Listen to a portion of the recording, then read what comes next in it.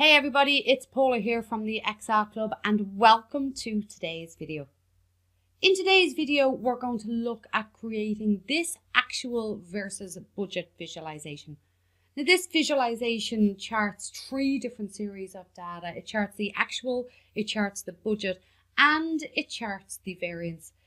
The actual and the budgets can be seen in the columns down here. And this is a standard column chart.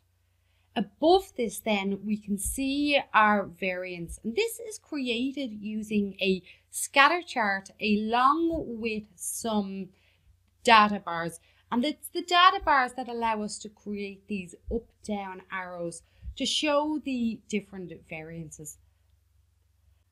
Before we get stuck into this video, if you are watching on YouTube, I do hope you will give it a big thumbs up and don't forget to subscribe to my channel and hit that notifications button so you don't miss any more of my videos. So if you're ready to get stuck in, let's take a look at the data and let's try and recreate this chart. So the data that we have been given shows us our products, it shows us our actual sales and it shows us our budget sales. And we're going to create a standard column chart to begin with. So I'm going to insert a column chart and I'm going to just make it a little bit bigger so we can all see what it is that I'm doing.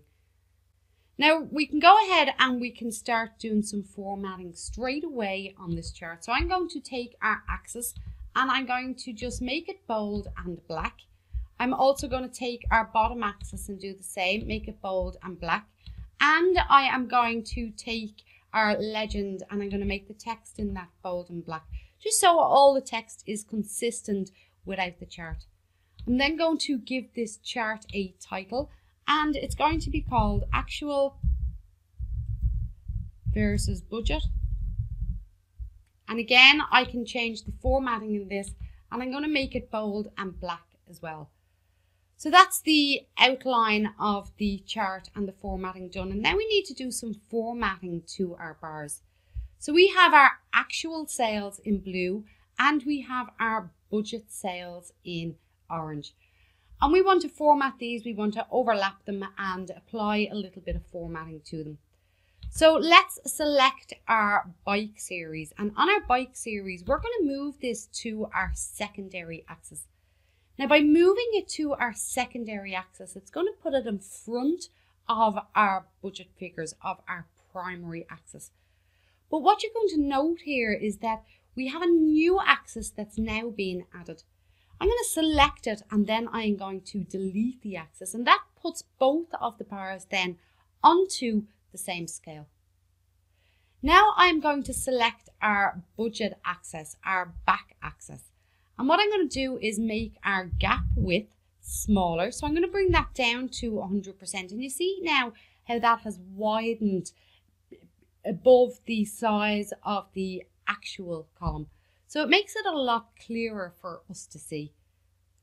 Now we can also do a little bit of formatting on our color. We can do a gradient fill. And I am going to have a two color gradient fill from this lighter orange here. So if you click on the marker and you can select the color there and click on the marker here to select the lighter color which we've selected there. I'm also then going to change the color of our actuals and I'm going to change this scroll up to a solid fill and this time I'm going to make it a grey color. But again, I'm going to make it a gradient fill and I should have just left the color change for the moment because when you make it gradient, you need to change the color in the actual gradient. And I'm going to select this gray, moving up to, on our second point, this gray here. So that gives the chart that little bit more depth. Now the final bit of formatting I'm going to do on this chart is I'm going to remove the grid lines. So now we have the base for our chart, which showing us our actual versus our budgets. So basically we've taken a column chart and we've put both the columns on different axes. We've removed then the second axis, which makes the series the same size, but the columns are now overlapped for us. So the next thing we want to do is create the little up down bar arrows, bars and arrows that you've seen in the example chart. So to do that, we need to calculate our variance and then we need to create a column for our up arrows and for our down arrows. So we need to do a little bit of work to our data for this. So I'm going to create a variance column and then I'm going to create an up column and a down column. So our variance column is going to be our actual minus our budget divided by our budget. And this gives us our percentage variance, change it to a percentage. And this gives us a percentage based on our actual versus our budget. So we can see our budget for bikes was 32, almost 33,000, but we only got 29,500. So the variance is 11%. Now, when you're trying to chart different variances, it's best to have them as separate columns in your data set because that way you can have them as different lines or different columns or different plots or different series in your charts. So we need to create an up column and a down column. So for this, we can use a basic if statement and we can basically say if our variance is greater than zero, then we want our variance. Otherwise, we want NA. Now, why would we want NA rather than blank? If you put in a blank and then we try and chart this, the blanks will come in as values of zero, whereas NAs are not charted at all. So I'm going to fill this down. And then I'm actually going to take a copy of that formula and stick it in here and change the greater than to less than. And I'm going to fill this down. And I'm also going to change the formatting of these two percentages. So although that looks very untidy with the errors in there, the NAs in there, it will allow us to create a chart where those particular items are not plotted. Now I'll change them back to zeros later on so you can see what happens when they are zeros. But it's best to apply them as NAs. Now you can also, if you have them as zeros, you can apply custom formatting to the cells so the zeros don't show up. But that's a little bit more complex than doing it the way I've just done it here. So now we can select our data series now that we want to chart. And I'm going to insert this time a scatter chart. Now I'm going to drag this scatter chart over here and make it a little bit bigger So you can see exactly what I'm doing to work on it. So let's take our first series, our up series. So we see that we don't have point one and point two has nothing on it. Whereas where if we had the zeros in here or the blanks in here, this would be charted. So let me just show you that now. So if I change from that to is blank, we see a new point has come up here and that value is actually being charted. Whereas if we have the NA, it's not included in the chart at all. Now that is a really nifty trick. So let us select our first series of data points here. And what we're going to do is we are going to insert some error bars to this. Now, when our error bars come in, we have a crosshair shape. And we don't need both the horizontal and the vertical. We just need the vertical so we can select the horizontal and from there we can select delete. And that just leaves us with these straight bars. Now I'm going to select the straight bar and we have our format errors bar here. We're going to do a little bit of formatting to turn these into those arrows that you've seen. So first of all, we don't need direction in both. We need to select the direction in minus. Then we're going to scroll down here to this error amount. Now, these are error bars, which usually show us the error in a sample data set. And if we change the percentage to 100, what it'll do is create the error bar from 0 to 100. So I'll select 100 and you see that bar now has now appeared here. From here, I'm going to go to my fill. I'm going to change my fill to this dark green and then I'm going to increase the size of this to two and a half points. Then finally, at the beginning of the arrow, I'm going to put this, um, this arrow top so we can clearly see that there is an arrow on it and it is pointing upwards. Now you'll see there's still these data markers here. So I'm going to go back in here to this. And in the data series, I am going to go to marker and I'm going to go to marker options and we're going to say none. And that gets rid of those markers that we had there. So that is our up series. And we'll see, we see that we have our four points plotted here so far. What we're going to do now is we are going to do our down series. So we will add our error bars again.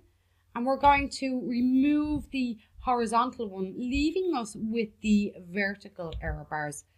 Then we're going to select the vertical error bars and we're going to do the same sort of formatting. So I selected minus, our percentage is going to be 100%. And now we have these down lines going all the way down as far as they need to go. Then I'm going to go into our colors. I'm going to change the color of our down bar arrow to red. And I'm going to increase the width to two and a half. And I'm also then going to add our arrow top to the bottom or to the top of this as well. Now we can see that we have our arrows in, but again, we need to select the entire series because we need to remove those marker dots. So we go to our marker and we will go to our marker options and we will say none. And that removes those markers for, from us, from the chart as well.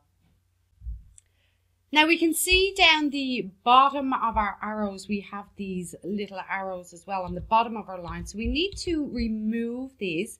So I'm going to format our er, error bars and I'm going to go to end style, which is no cap. And we need to do both this to both the up and the down arrows. We don't need a chart title for this and we also don't need our grid line. So I'm going to remove our chart title and I'm going to remove our grid lines from this. Now we have our line, but we have these numbers, one, two, three, four, five, six, and so forth. We want to remove them, but we want to leave the line that's there intact. Now, if we select the axis and say delete, it also removes the line. So what we can do instead is selecting our axis. If we go down to our label option and in our label option, if we say none, that removes the labels, but it keeps the line intact. Now we need to add the value. So we need to add the data series to our scatter plot chart with our with our error bars. So we can add in our data labels and then we can position our data labels below or above. We'll select them separately and we will select them above and these ones down here are below and we can make these bold and black and make these bold and black as well. Now we can remove our axis and we can make this chart smaller.